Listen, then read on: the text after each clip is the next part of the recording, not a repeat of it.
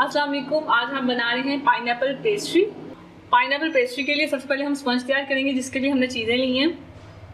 Four ounce हमने मैदा लिया है फोर ऑन्स मतलब eight tablespoon four ounce हमने कास्टर शुगर ली है फोर ऑन्स मतलब एट टेबल स्पून लेवल करके। वन टीस्पून हमने बेकिंग पाउडर लिया half teaspoon vanilla essence लिए और चार अंडे लिए सबसे पहले हम अंडा और कास्टर शुगर को बीट करेंगे।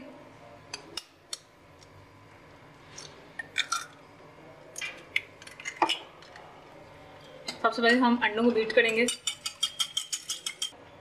अंडों को हमने अच्छे से बीट कर लिया, अब इसमें हम कास्टर शुगर डालेंगे। और इसे भी बीट करेंगे।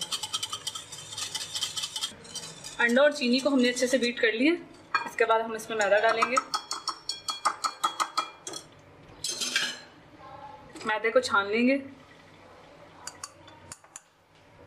मैदे को और बेकिंग पाउडर को हम छान लेंगे। साथ इसे मिक्स कर लेंगे।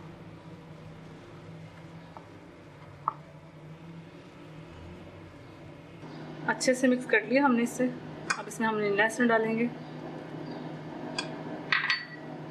फिर से इसे अच्छे से मिक्स करेंगे। ये अच्छे से मिक्स हो चुका है। अब एक केक मोल लेंगे। उसमें हमने बटर लगा के उसे बटर पेपर लगा के ग्रीस कर लिया। अब इसमें डाल देंगे।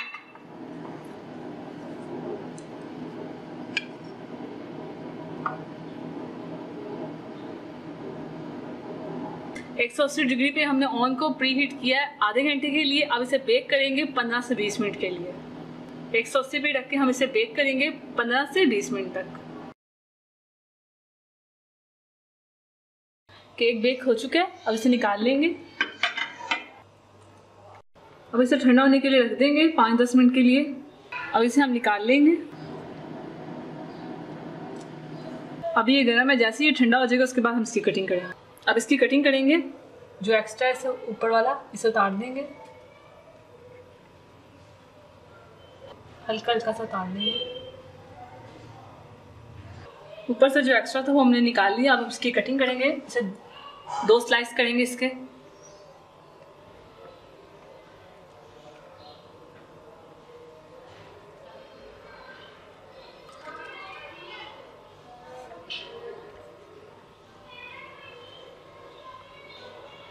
दो स्पंज बनाने इसके।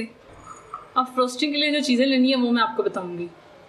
पेस्ट्री की टॉपिंग के लिए हम लेंगे पाइन सिरप एक कप एक कप हम पाइन चंक्स लेंगे और थोड़ी सी चैरिस लेंगे।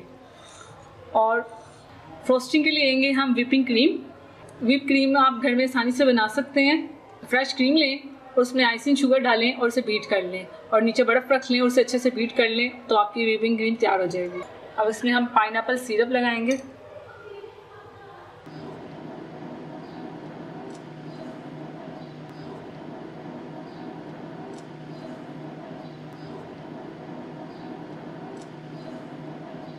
अब उस पर हम क्रीम लगाएँगे।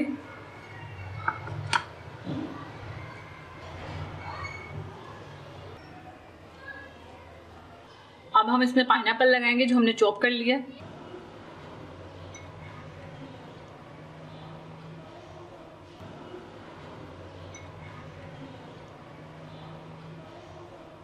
अब इस पर हम दूसरा वाला स्पंज रख देंगे।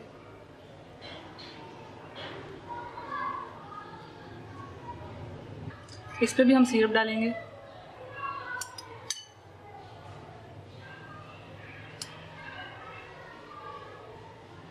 अब ऊपर से क्रीम लगाएँगे।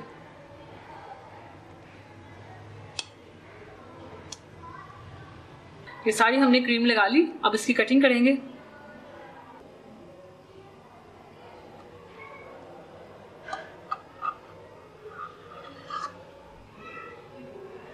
इस तरह हमने इसकी कटिंग कर ली।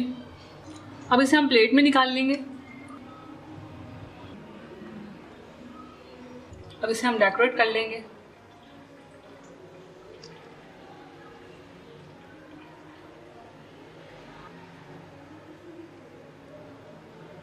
अब हम इस पे पाइनएप्पल लगाएँगे।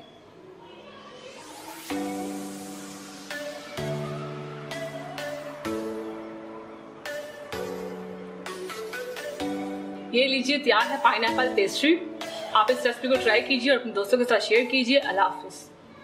अगर आपने अभी तक हमारा YouTube चैनल सब्सक्राइब नहीं किया तो आप इस बटन पर क्लिक करके हमें सब्सक्राइब कर सकते हैं।